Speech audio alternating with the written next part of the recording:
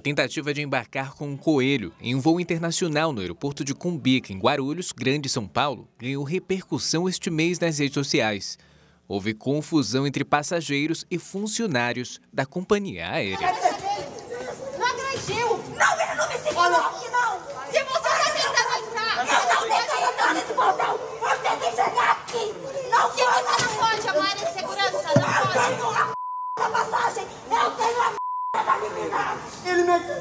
em nota, a empresa disse que, ao contrário de cães e gatos, animais e roedores não podem ser transportados na cabine da aeronave por razões de segurança. Só que o casal queria viajar para Dublin, na Irlanda, tinha uma autorização judicial.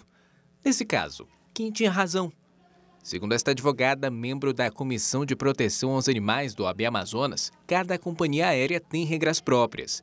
É preciso conhecer todas elas antes mesmo de solicitar a permissão da Justiça, para evitar problemas. Eles acreditaram que seria melhor, em uma, em uma viagem muito longa, levar o coelho na cabine. Esse pedido foi deferido pelo juiz, o juiz autorizou. Só que, é, após o check-in, na hora do embarque, o comandante da aeronave não deixou que esse coelho viajasse.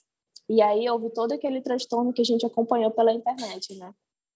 Após isso, eles solicitaram novamente uma medida judicial que foi deferida e aí eles foram acompanhados por, por policiais e o Coelho finalmente embarcou. Basicamente, são duas exigências feitas pela ANAC.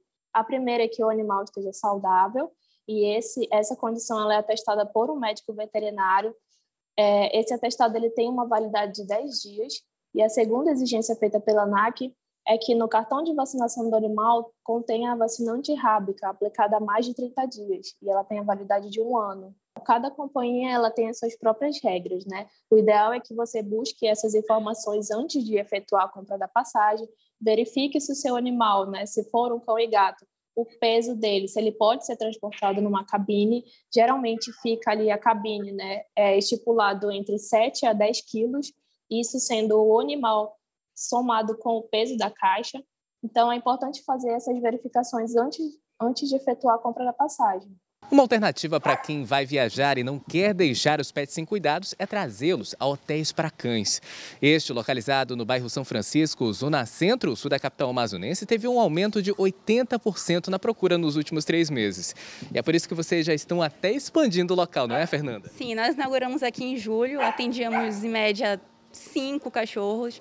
Hoje a gente atende mais de 30 por dia e a previsão é que aumente muito mais para o final do ano e o próximo ano.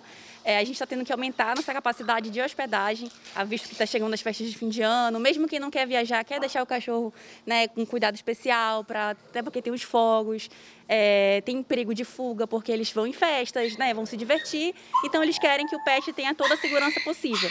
Então, aqui a gente faz todo essa, esse acompanhamento durante o dia, faz atividades com eles, é, brinca, dá alimentação. No final do dia, fizemos a higienização dele completa. Na noite, fica uma pessoa responsável por eles à noite. E por aqui. Gostou do vídeo? Vem ver mais no nosso canal. Não esqueça de se inscrever e ativar as notificações.